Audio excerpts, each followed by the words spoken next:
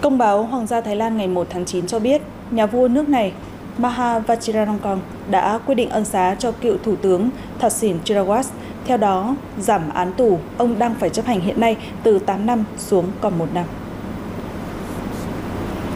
Theo công báo hoàng gia thái lan, ông thaksin cũng đã thừa nhận hành vi phạm tội của mình và bày tỏ sự ăn năn hối cải. Công báo hoàng gia thái lan cũng cho biết sức khỏe của cựu thủ tướng thaksin đang không được tốt, cần được chuyên gia y tế chữa trị sau 15 năm sống lưu vong, ông thờ sỉn đã trở về nước này vào ngày 22 tháng 8 và bị tuyên phạt 8 năm tù cho 3 vụ án đã được xét xử trong thời gian ông vắng mặt. Tuy nhiên, ngay trong đêm đầu tiên trong trại giam, ông thờ sỉn đã được chuyển tới bệnh viện đa khoa cảnh sát vì lý do sức khỏe.